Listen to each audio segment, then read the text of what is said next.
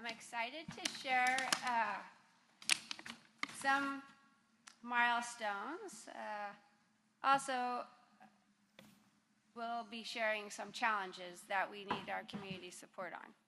First, a milestone. We have here some of our learners in our adult education program who celebrated Constitution Day. We do offer classes that are full, and actually, our teacher, uh, Ms. Jennifer Gagliarni, uh, is known across the state for her work in developing citizenship courses. And these students are a part of that course, and as you can see, they're super excited about celebrating Constitution Day.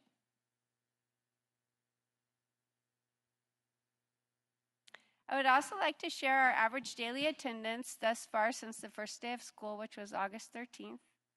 And you can see that our overall MUSD average daily attendance is at 96.97. We want to get it at 97% and keep it there. Actually, we can always grow it from there. This chart shows uh, the number of absences each day. The red is the total number of absences. The orange is excused absences, and I need to make sure people understand that even though the absence might be excused, it still does not count towards our average daily attendance. So these might be things like uh, going for a doctor's appointment or a dentist appointment. So those kinds of things that you can control, please do those after school. And then the bottom pink line are unexcused absences. And it is good to see the trajectory has been going down the last several days. This is our overall um, average daily attendance as of today, so it's by day. And you can also see that our enrollment as of today is 10,224. And today's average daily attendance was 98.13. I want to point out that we do maintain an online log of our public records requests, and these uh, come with a lot of different types of requests. Generally, it's the kind of thing where entities want to know the compensation of staff members, and they post that for everybody. And sometimes we have uh, more unique types of public records requests. Since the beginning of the school year, we've had 12. And I want to point out that one of those was a request for administrator stipends for the last three years. And I want to assure the board that we in executive cabinet are reviewing policies and procedures and uh, making sure that all of our managers are following those uh, when it comes to stipends that are not in a contract, either for classified employees or um, certificated employees, or in our case, administrators, that um, they make sure that they're following procedure. We also are going to write procedures and expectations for management stipends, which are very limited. And we'll put them in our Milpitas Management Association handbook so it's very clear for everybody when those limited times might be that an administrator would have a stipend. And we, for all stipends that are not in the contract, we want to make sure that we have expected outcomes for the work. So a work product. And some examples of limited stipends for administrators might be grant funded. For example, we have an equity grant, and that funds uh, stipends for our Culture of We Equity team, which is a team of about nine and they do work uh, for leadership as well as for their school sites where they are focusing on our equity board policy and assuring that we are implementing that policy.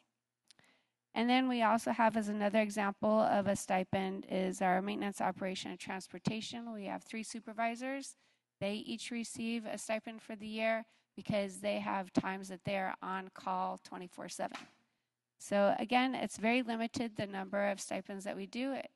And typically, if we do have anything, it's uh, either funded by a grant or in some very few cases, it's like the on-call or uh, filling in for, um, for example, we had uh, two principals last year who taught a class because we didn't have a teacher. So it would be examples like that. I also want to give an update on our progress and work in learning about, leading, and also implementing artificial intelligence strategies in our work as well as in the classroom and instruction. And I want to point out that last week on Friday at the Silicon Valley Ed Foundation, Trustee Norwood, who sits on at the state level on the AI Advisory Task Force for California School Boards Association, facilitated this uh, talk, which had included on it our Milpitas Unified Teacher Leader, Victoria mm-hmm. Salas Salcedo from Rancho Middle School. Victoria has been uh, piloting and implementing AI strategies for the last three years in our classroom, and that makes her an expert.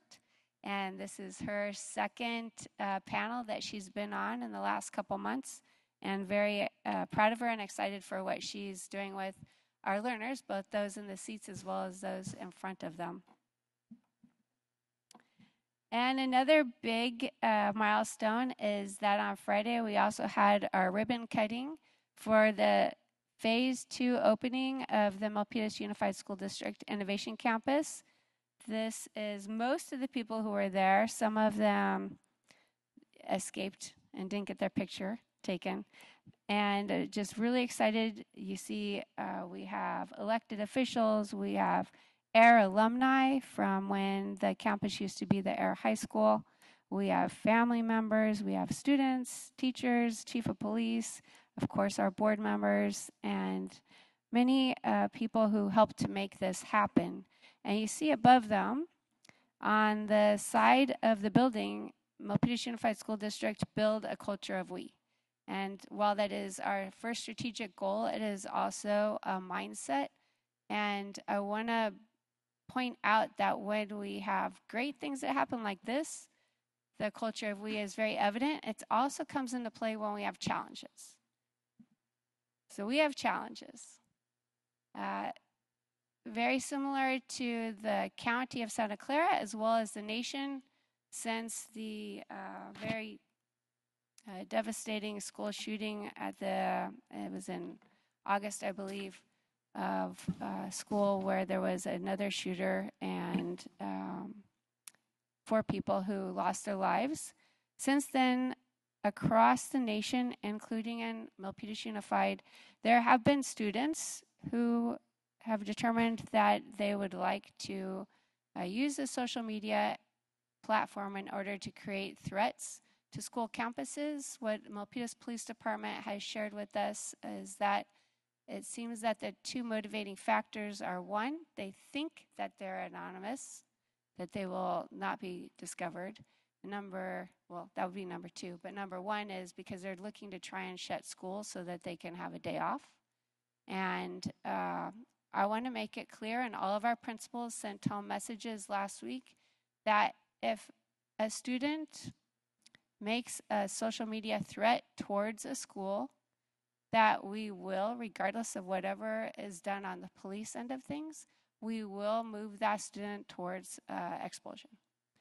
And another thing that's come to light in the last few days is that there are there is another I don't know what to call it if I I'll call it a trend seems to be a TikTok thing where uh, students determine that they want to create uh, fights and um, sometimes they're called slap clubs or fight clubs and they put these on the video for others to see and that is not tolerated. Uh, we're not about violence. We are about making sure that all of our learners have safe and secure places to learn and to work.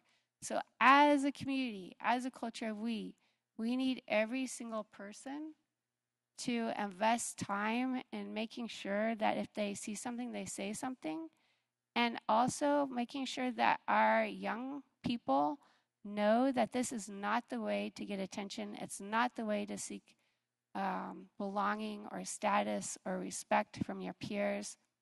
There are many other ways to do that. And we celebrated some of our young leaders today, tonight, for the ways that they strive to um, give back, to fill their sense of belonging, and to lead. So, as a community, we can assure and build forward so that we have safe and secure learning and working places. And that concludes my update for this evening.